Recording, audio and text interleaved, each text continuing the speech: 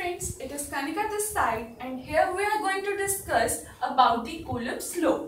Basically here we will discuss how the Coulomb's law helps in the nuclear model.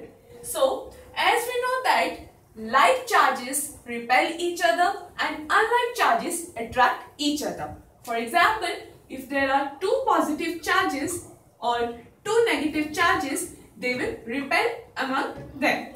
But if there are one positive charge and there is one negative charge, they will attract each other. So on the basis of this, Coulomb's law was given and this is the equation given by this law. That is, force is equal to K Q1 Q2 upon R square. Here, Q1 and Q2 are the magnitude of the charges and K is the Coulomb's constant and R is the distance between these charges. So it discusses about how one of the particle exerts the force over the other particle. So this Coulomb's law helps in the determination of the ionization energy.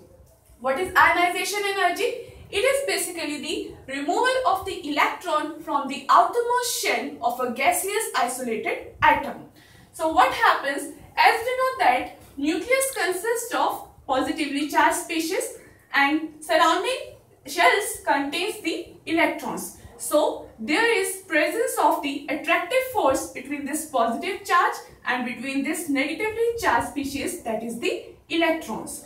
So what happens due to the presence of the attraction between them it becomes very difficult to remove the electron from that atom. So what happens when the size of the atom is very large the what happens? That electron is very far from the positive charge. So the removal of electron becomes very simple.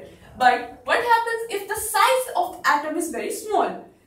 Then positive charge will increase. It will very easily attract this electron and it won't allow the removal of this electron so how the presence of different type of charges the presence of different repulsive and attractive forces between them leads to the ionization energy of that particular atom. It is given by this Coulomb's law.